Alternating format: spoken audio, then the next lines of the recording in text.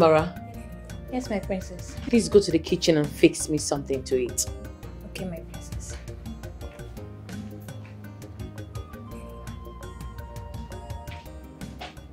My love, I must confess, your chief maiden is a wonderful cook. Wow, you can say that again. You're welcome. That reminds me. So, how was the meeting you had with my father? Well, your father, the king, suggested we wait till after the burial. Meaning, I don't understand. My father chooses to bury that wrecked, disgusting corpse over my own marriage? Why so much disrespect over your dead stepmother? Why? Are you kidding me? You don't see anything wrong with this? Oh, come on, my love. Stop disrespecting the dead. I mean, what has she done to make you disrespect her this It's much? the problem that I have with you. You never see things the way you're supposed to see it as a man. No!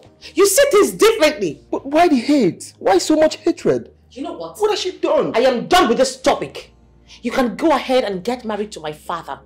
You're not even man enough to become my husband. You are nothing but a shredded cankerworm.